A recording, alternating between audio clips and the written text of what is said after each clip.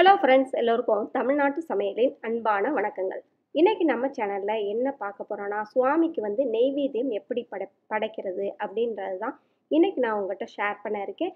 நம்ம வீடியோக்குள்ளே போகிறதுக்கு முன்னால் நம்ம சேனலை வந்து முத முதல்ல நீங்கள் பார்க்குறதா இருந்தால் முதல்ல வந்து சப்ஸ்கிரைப் பண்ணிக்கோங்க. பக்கத்தில் இருக்க நோட்டிஃபிகேஷன் பில்லை வந்து கிளிக் பண்ணுங்கள் அப்போ தான் நான் போடக்கூடிய அடுத்து அடுத்து வர்ற வீடியோக்கள் எல்லாமே வந்து நீங்கள் மிஸ் பண்ணாமல் பார்க்க போகிறோம் பார்க்க முடியும். வாங்க வீடியோக்குள்ளே போகலாம் நம்ம இந்து சமயங்களில் நம்ம வீட்டில் வந்து பூஜை அறையில் வந்து தெய்வங்களை வச்சு நம்ம வழிபாடு செய்வோம். அந்த மாதிரி தெய்வங்களை வைத்து வழிபாடு செய்கிற தெய்வங்களை வச்சா மட்டும் போதாது அதுக்கு வந்து அவரை வந்து தினமுமே வந்து அஞ்சு நிமிடமாவது கடவுளை வந்து நினைக்கணும். ஏதோ ஒரு வடிவத்தில் வந்து நம்ம கடவுள் வந்து தினமும் வந்து பார்த்துக்கிட்டே இருக்காரு நமக்கு மேலே ஒரு சக்தி இருக்குது அப்படின்றத முதல்ல வந்து நீங்கள் வந்து நம்பணும். நம்பினாதான் கடவுள்கிட்ட வந்து முழுமையாக வந்து நம்மளை வந்து ஒப்படைச்சிட்டு நம்மளுடைய பணிகளை வந்து செய்து சக்ஸஸ்ஃபுல்லாக வந்து எல் வாழ்க்கையில் வந்து எல்லாத்துலேயும் வந்து வெற்றி அடைய முடியும். எந்த ஒரு பொருள் வாங்கினாலும் நான் வந்து எங்கள் வீட்டில் வந்து எந்த ஒரு பொருள் வாங்கினாலும் முதல்ல வந்து கடவுள்கிட்ட வந்து கொண்டு போய் வச்சுட்டு அவருடைய ஆசீர்வாதம் பெற்ற பிறகு தான் நாங்கள் வந்து அந்த பொருள் வந்ததுக்கு நன்றிலாம் சொல்லிட்டு தான் நாங்கள் வந்து அந்த பொருளை வந்து பயன்படுத்தணும். இதை ம இந்த முறையை வந்து நீங்களும் வந்து உங்கள் வீட்டில் வந்து பின்பற்றிட்டு வந்தீங்கன்னா உங்களுக்கு வந்து அதிகமான பொருட்கள் வந்து சேரும். நாம் வந்து செய்கிற ஒவ்வொரு செயலுக்கும் வந்து நமக்கு கடவுளுடைய அருளால் மட்டும்தான் வந்து நடக்குது. இன்பனாலும் சரி துன்பனாலும் சரி அதை வந்து நீங்கள் வந்து கடவுள்கிட்ட வந்து விட்டுடுங்க. நீங்கள் தான் பார்த்துக்கணும் அப்படின்னு ஒரு சரணாகதி அடைஞ்சிருங்க.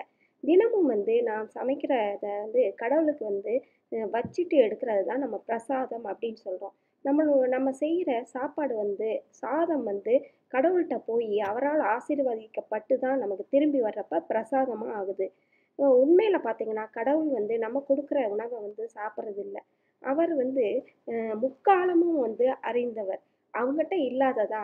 அவங்ககிட்ட இருந்ததா நமக்கே வந்து கிடைக்குது.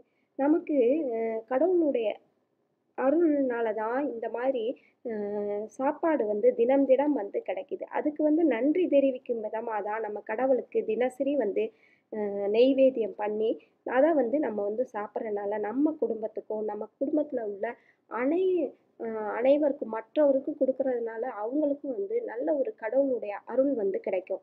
கடவுளுக்கு வந்து நீங்கள் வந்து தினம் தினம் வந்து தயிர் சாதம் கலந்த சாதம் சர்க்கரை பொங்கல் இந்த மாதிரி ப நெய்வேத்தியம்லாம் செய்யணும் அப்படின்றது தேவையில்லை. நீங்கள் வந்து வேலைக்கு போகிறவங்களா இருந்தாலும் சரி இல்லை வீட்டில் இருந்தாலும் சரி நீங்கள் வந்து சிம்பிளாகவே வந்து ஒரு அஞ்சு ரூபா பத்து ரூபா தான் ஆகும். ஒரு உலர் திராட்சை கற்கண்டு பேரிச்சம்பழம் இந்த மாதிரி பாக்கெட்டில் நீங்கள் வாங்கிக்கிட்டீங்கன்னா தினமுமே வந்து நீங்கள் வந்து அந்த பொருளை வந்து ஏதாவது ஒரு பொருளை இல்லை வாழைப்பழம் வைக்கலாம் இல்லை ஆப்பிள் உங்கள்கிட்ட என்ன கையில் இருக்கோ அதை வந்து நீங்கள் வந்து சுவாமிக்கு வச்சு நெய்வேத்தியம் படைத்து அப்புறமேட்டு நீங்கள் வந்து அதை வந்து சாப்பிடலாம். இல்லை ஒன்றுமே கிடைக்கல அப்படின்னா தினமும் வந்து நம்ம பால் காய்ச்சுவோம். அதில் வந்து நாட்டு சக்கரை போட்டு நீங்கள் நெய்வேத்தியம் பண்ணலாம். இந்த மாதிரி இந்த மாதிரி விதத்தில் வந்து நீங்கள் நெய்வேத்தியம் பண்ணி நீங்கள் சிம்பிளாக வந்து சுவாமியை வந்து வழிபட்டாலே கடவுளுடைய அனுகிரகம் வந்து நம்ம குடும்பத்தில் வந்து கிடைக்கும்.